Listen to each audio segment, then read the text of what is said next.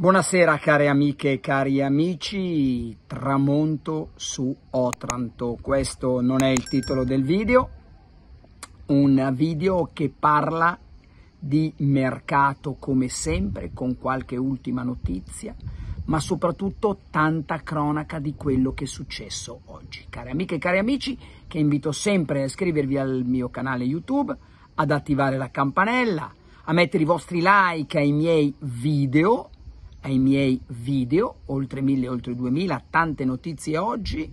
E non dimenticate mai di scaricare dal link in descrizione l'applicazione numero 10, ogni tanto mi vedete che allungo il collo per vedere se è arrivata qualche notifica dell'ultima ora.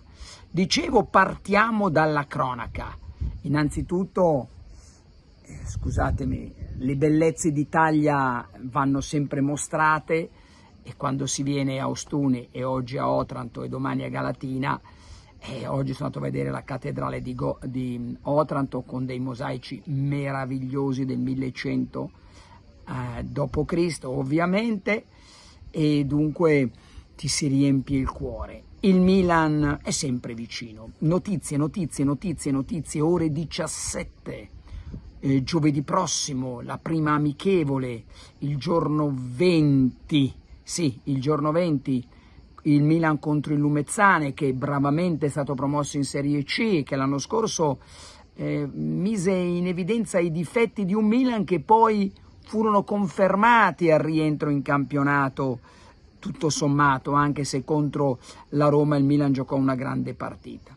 Dunque amichevole contro il Lumezzane il, miglior così la miglior l'occasione di vedere Loftus Cheek di vedere di vedere Pulisic, speriamo di vedere Reinders, di vedere Romero, di vedere Sportiello. Bellissime parole oggi di Sportiello nella conferenza stampa, un ragazzo molto, molto serio, è stato unito dal dolore per la tragedia, unito a Pioli per la tragedia, era un suo compagno di squadra in quel momento di, di Davide Astori, la sua soddisfazione di essere al Milan, la sua voglia di mettere stimoli, non pressioni, stimoli al, al suo compagno Megnan. Ma oggi tante cose sono successe, poi parliamo di mercato. Ecco le immagini.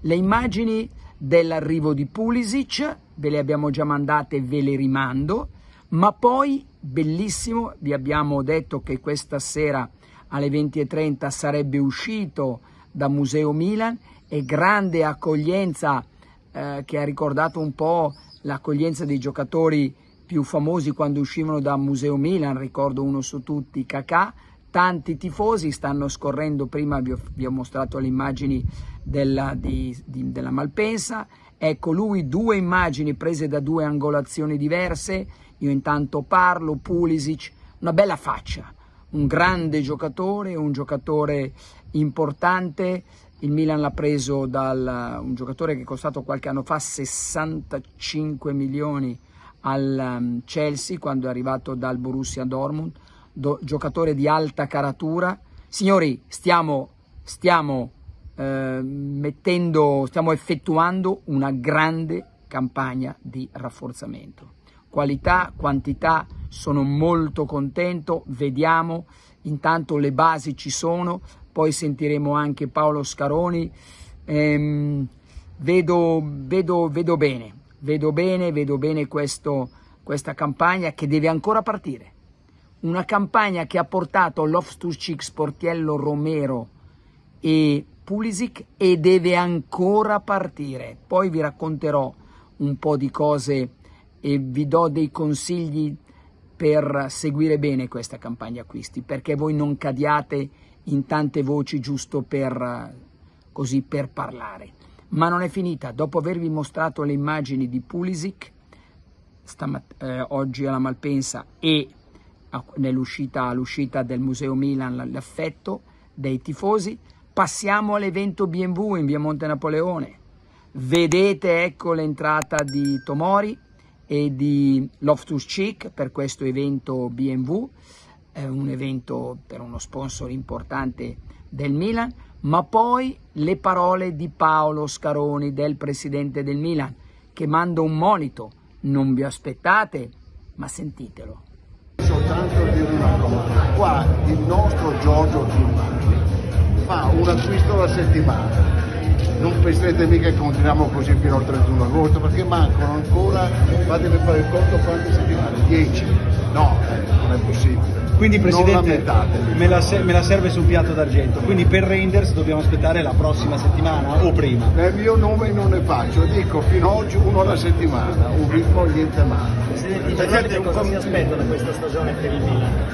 Di avere un Milan più forte Milan più forte, guardi, noi abbiamo un obbligo perentorio che è di entrare in Champions League perché abbiamo visto l'impatto che hanno sul nostro gioco, sui nostri giocatori, anche sui nostri conti, quindi quello è un obbligo assoluto, poi tutto il resto che viene sarà bene. Presidente, oggi tra poche ore sarà ufficiale Pulisic, un acquisto americano, proprietà americana, che commento ci può fare su questo nuovo arrivo? Beh, soprattutto che è un giocatore forte, cioè americano, tutto bello, però a me piace perché è un giocatore molto forte. È stata un'estate particolare, Presidente, ma è stato un raduno come il solito. Vi ha sorpreso in positivo vedere comunque tanto entusiasmo, i tifosi, le bandiere, i cori, l'incitamento? mi è piaciuto molto e ho fatto un parallelismo tra chi era Milanello l'altro ieri la nostra campagna Bonamente che è stato un grande successo, perché poi le due cose vanno un po' insieme. Presidente, come torna Fluminense? Ah beh, dunque guardi, allora parlare un po' prematuro, parlare di Eli, eh, diciamo, e poi queste domande andrebbero fatte all'amministratore delegato e non a me, che mi pare abbia cominciato molto bene. Oggi ci sono significativi passi avanti per lo stadio Sardanato Milanese, ci pare di capire. Significativi, è un processo in cui andiamo avanti, guardi, questa storia degli stadi sembra una cosa complicata, eh, quindi andiamo avanti su San Donato come andiamo avanti anche sulle altre. Queste le parole di Paolo Scaroni, però a voi interessano notizie di mercato, tanto è vero che questa rubrica si chiama Il punto di mercato. Allora, incominciamo col dire che il signor Reinders, e il titolo è Allora vi decidete, ma non rivolto al Milan, rivolto al, al, al, ai dirigenti del, della Z, perché il giocatore non ha effettuato neanche la, il secondo test, mi sembra, con lo Standard Liegi. Quindi è chiaro che Reinders è destinato ad andare ed è destinato ad andare al Milan. Chiaro che gli olandesi tirano, tirano, tirano per sperare di avere la cifra che loro si augurano di, di, di, di acquisire, di mettere in cassa. Però Reinders è come una foglia d'autunno che balla il suo, è lì che balla sull'albero, al primo refolo di vento cade e viene, verso, viene, viene direzione Milan. Però non è ancora al momento, aspettiamo che ci sia un, una notizia, un comunicato, perché il giocatore già ha saltato due test, quindi è chiaro, ha già un accordo di 1.7 per 4 o 5 anni con il Milan, e dunque sembra un giocatore destinato ad arrivare. Eh, si tratta ancora di decidi, di, di, di, di avere l'ok del, della Z Akmar, che non credo proprio che voglia tenere contro forza un giocatore che ormai ha la testa già al Milan. Il Milan non so se effettuerà l'ultimo sforzo, il, è un giocatore che vuole Stefano Pioli. E adesso parliamo del mercato vero nel senso del mercato degli attaccanti, il vero mercato di rafforzamento, perché abbiamo sempre detto che il Milan doveva prendere una fascia destra e un attaccante. Allora, istruzioni per l'uso. Quando incominciano a dirvi arriva questo e arriva quello, non date retta, in questo senso.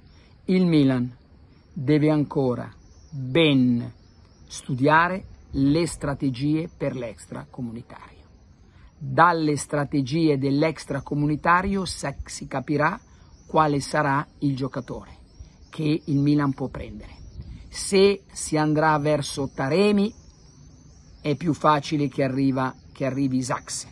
Se si va verso Ciucbueze, cosa non ancora stabilita, forse bisogna, anzi sicuramente si andrà a prendere, e lì diventa complicato capire chi, un giocatore comunitario finché il Milan, e non lo ancora perché deve capire bene le intenzioni del Villarreal, non ha bene in mente la strategia per prendere il giocatore o extracomunitario o comunitario, chiaro che tutte le, tutte le, possibili, tutte le possibilità, tutte le opzioni possono essere valide, possono essere giuste. Quindi, Taremi, là davanti chi? Io continuo a dire sbagliando, sono sensazioni, io l'ipotesi, scusate se ve lo dico, l'ipotesi morata non la scarto ancora. È impossibile, troppo costoso, quello che volete. Razionalmente avete ragioni, non lo scarto perché secondo me è il giocatore che vuole Pioli e Pioli conta tanto, tanto, tanto in questa cosa sono queste campagne? In questa campagna acquisti. Ecco perché metto sempre l'accoppiata favorita Ciucvueze per la destra e per la sinistra Morata.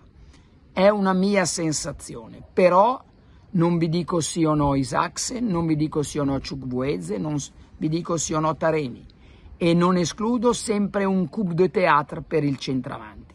Voi mi direte sì ma non mi hai detto nulla. Certo, non vi ho detto nulla perché sarebbe offensivo nei vostri confronti dire qualcosa, perché se non ha ancora stabilito il Milan bene le strategie sull'extracomunitario e non so neanche se verranno stabilite così presto, perché dipende molto dalla, dalla guerra, no, una brutta parola, dalla sfida, ecco più bello, dalla sfida di logoramento tra il Milan e il Villarreal. Nei prossimi giorni eh, spero di avere un ospite importante che conosce bene il calcio spagnolo per capire bene quale sia la situazione di Ciucvueze perché da quel nome da Ciucvueze che è il primo obiettivo del Milan sulla fascia destra capiremo anche il movimento del, del, del, dell'attacco quindi signori eh, i nomi non c'è Bakayoko l'abbiamo scartato non c'è Emeghe l'abbiamo scartato adesso vi diranno un giorno un nome, un giorno l'altro. Eh, nomi nuovi non ne sono usciti, ma però prima che, prima che il Milan stabilisca bene le strategie per l'extracomunitario, tutto dipende dall'extracomunitario. Perché se vanno deciso su Taremi c'è un certo movimento, se vanno decisi su Ciucvueze oppure può darsi anche altri, un extracomunitario lo, lo prenderanno per tenere sicuramente occupata la casella. Quindi questa è la situazione. Continuo a dire che il, mom il momento più caldo è quello, la, la, situazione più calda è quella di Reinders, vedremo quando finalmente, quando si decideranno a dire sì o a chiedere l'ultimo sforzo per il Milan e chiudere questa situazione. Reinders deve arrivare presto, lo sa Furlani, lo sa Pioli, purtroppo lo sanno anche gli olandesi, ecco perché la battuta tirano l'acqua al proprio mulino mi veniva naturale, adesso sembra una battuta stupida perché parliamo di Olanda, ma tirano l'acqua al proprio mulino indipendentemente dal discorso dei mulini a vento olandesi. Signori, questa è la situazione, vi ho mandato delle immagini di cronaca, mi piace, io sono un giornalista al quale piace anche la cronaca di tutti i giorni, non solo i voli pindarici, così mi piace, ringrazio innanzitutto il Milan che mi ha mandato le immagini di, eh, di, di questa sera di Pulisic. Ringrazio i colleghi che mi hanno mandato Beatrice Sarti e Simone Cristao di Radio Rossonera per le immagini, perché io sono qua lontano, per le immagini del, delle, dell'evento BMW. Cito sempre le fonti e quindi ringrazio i colleghi. E se vi è piaciuto questo video mettete il vostro like e iscrivetevi al canale YouTube di Carlo Pillegatti.